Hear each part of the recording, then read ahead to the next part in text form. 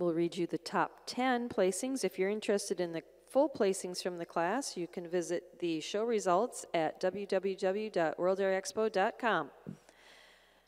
Entry 2605 was our class winner and also took home the Bred and Owned Award, Thorman Altitude Sadie Red, exhibited by Jordan Thorman of Macomb, Illinois.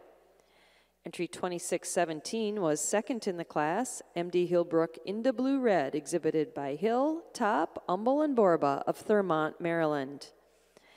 Entry 2607 was third in the class, Cashel's Geordie Corona Red, exhibited by Cowan, Payne, and Lloyd of Middleburg, New York. Entry 2622 was fourth in the class and first junior, Apple Partners Aubria Red, exhibited by Correa and Martino of Tulare, California. Entry 2623 was fifth and the second junior, Arizona War Bandana Red, exhibited by Jason Hadley Ross, Delavan, Wisconsin.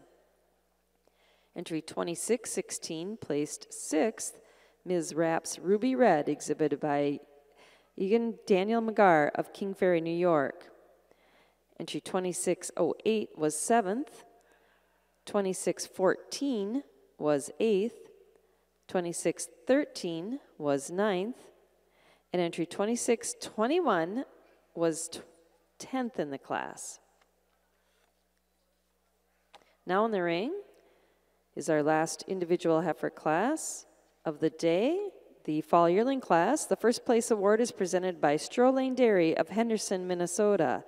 The junior award is presented by International Protein Sires, Rock Springs, Wisconsin.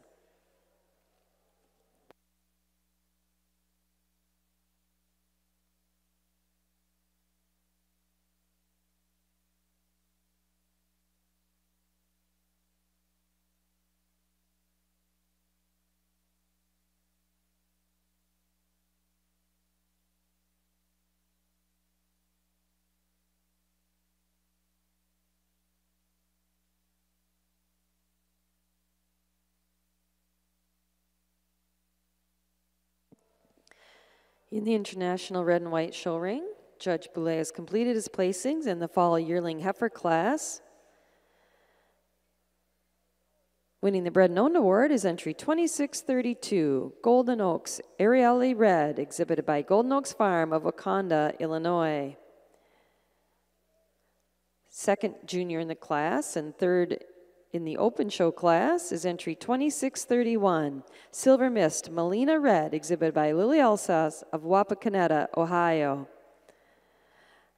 Second in the class, and also our first junior, is entry 2626, BVA Altitude Appleseed Red, exhibited by Courtney, Gehring, Gerard, and Gehring of Homestead, Iowa.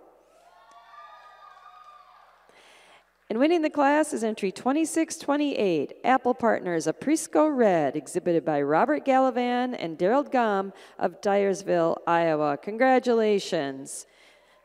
Pierre, your thoughts on this class?